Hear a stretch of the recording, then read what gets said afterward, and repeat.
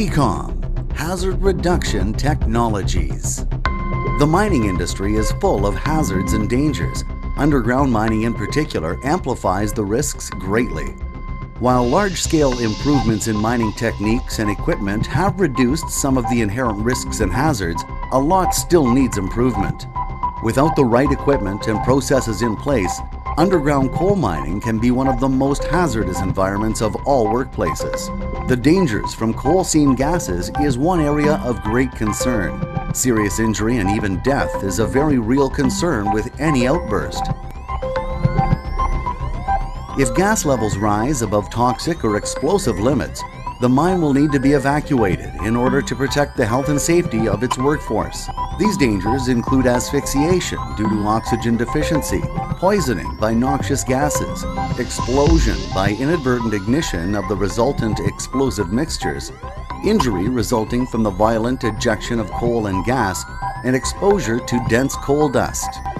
All underground mining equipment will need to be shut down and of course all production will halt. As with any halt in production, the costs immediately and quickly begin to mount up.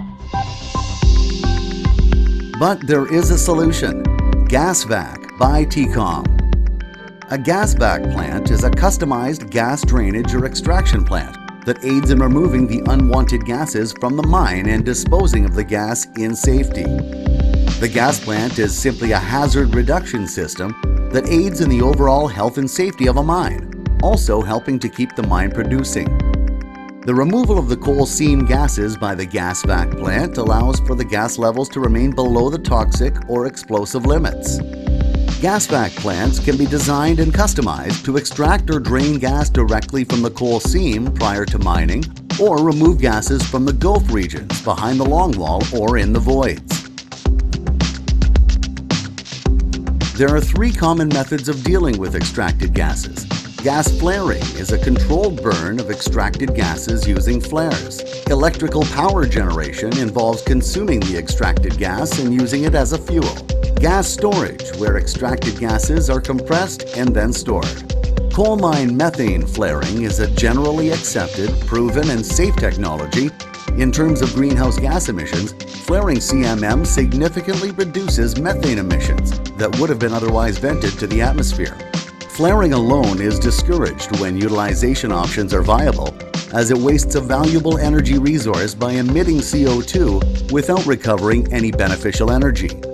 In order to maximize flaring efficiency and economics, GasVac flaring plants can be designed to incorporate boiler tubes to assist with heating in cooler climates. Many coal mines around the world are opting to use the recovered gas as a fuel for power generation using gas engines.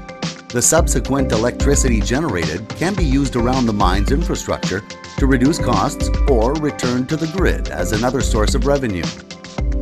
The heat created from the exhaust externals can also be used to heat water or air in cooler regions, all of which drives running costs down, minimizes methane emissions, and increases profit.